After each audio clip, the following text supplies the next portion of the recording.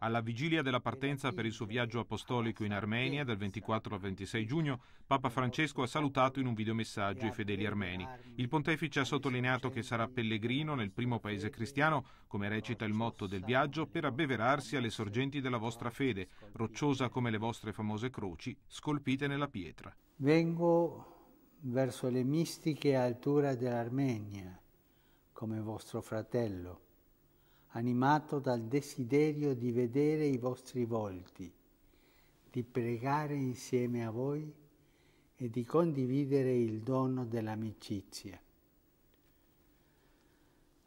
La vostra storia e le vicende del vostro amato popolo suscitano in me ammirazione e dolore.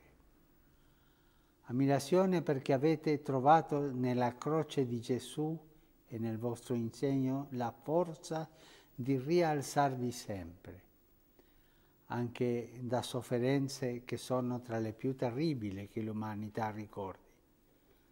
Dolore per le tragedie che i vostri padri hanno vissuto nella loro carne. Ai ricordi dolorosi non permettiamo di impadronirsi del nostro cuore. Anche di fronte ai ripetuti assalti del male non arrendiamoci.